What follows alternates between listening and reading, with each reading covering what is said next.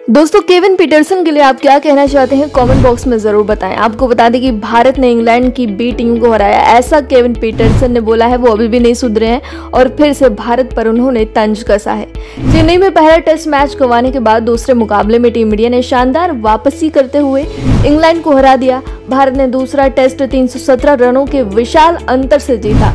खेल के चौथे दिन इंग्लैंड की टीम पूरी दूसरी पारी में महज एक रनों पर ढेर हो गई, जिसके साथ ही चार टेस्ट मैचों की सीरीज़ एक एक से बराबर हो चुकी है। वैसे चेन्नई में इंग्लैंड की हार उसके पूर्व खिलाड़ियों को नहीं पच रही है, खासतौर पर केविन पीटरसन, जिन्होंने टीम इंडिया को जीत के बाद तंज कसते हुए बधाई दी है। केविन पीटरसन ने भारत की जीत के बाद ट्विटर पर लिखा कि उसने इंग्लैंड की बी टीम को हराया है। पीटरसन ने ट्वीट किया, बधाई हो इंडिया, इंग्लैंड बी को हराने के लिए।